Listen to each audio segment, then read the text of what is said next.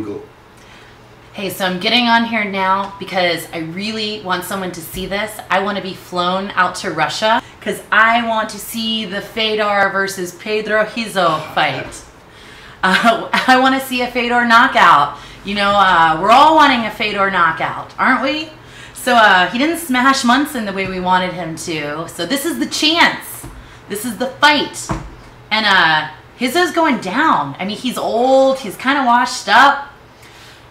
Gonna get haters out there for that one. Yeah, but uh, I want a Fedor knockout. Someone see this. Fly me out there. Gosh, I want to go see that fight. I want to see the weigh-in for it too.